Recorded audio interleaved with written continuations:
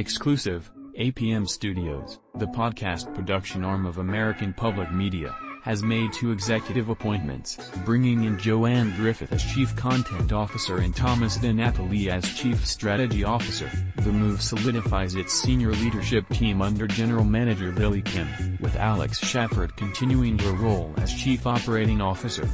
Griffith will oversee the editorial vision and brand voice for APM Studios and will have creative oversight on original and acquired podcasts. Most recently lead producer of ESPN's 30 for 30 podcast The King of Crenshaw, she has worked at the BBC, NPR, Southern California Public Radio and KQED as well as with APM's Marketplace. Former Viacom CBS exec De Napoli will lead on all business development efforts to extend APM's podcast IP across multimedia platforms, including consumer products and experiences.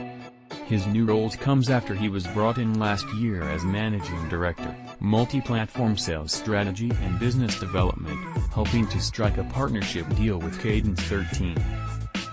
APM Studio series include Terrible, Thanks for Asking, Brains On, Don't Ask Tig, The Splendid Table and The Slow Down.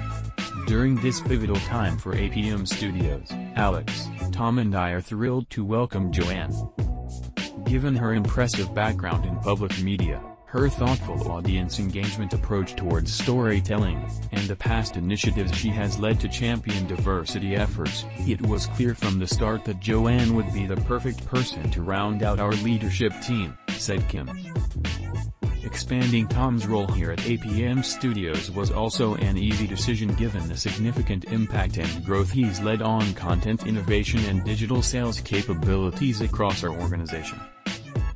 Over the past 18 months, the media ecosystem has experienced a rapid acceleration from an attention economy that is measured in impressions, views, and clicks towards a passion economy realized in fan love, engagement and loyalty.